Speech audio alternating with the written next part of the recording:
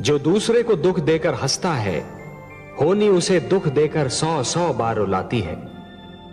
इसलिए दूसरों को दुख देने से पहले इतना अवश्य सोच लेना चाहिए कि यदि इसी दुख का वज्र अपने सिर पर गिरे तो क्या होगा?